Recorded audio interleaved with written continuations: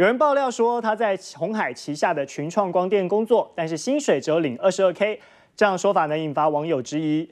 老板郭台铭是说一套做一套。对此，红海董事长郭台铭今天再度亲上火线，强调红海的作业员领的薪水是两万六千块钱，并且要调查所有关联性的企业，同时从五月一号开始全面比照红海的薪资标准。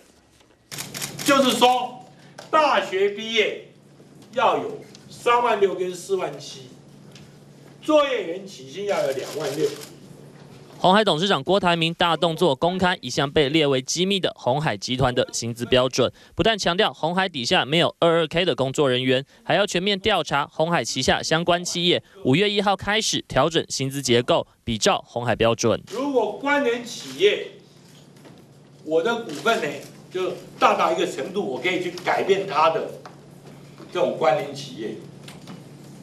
我将严格规定。郭台铭强悍回应：经过公司彻查后，并没有这位只拿二二 K 的群创员工存在。但如果有，他欢迎对方拿薪资条来找他，他会设法来解决这问题，并再度对是否买下一些公司只发给大学生二二 K 薪资的立场做说明。我其实呢，其实这句话是一个激励的作用。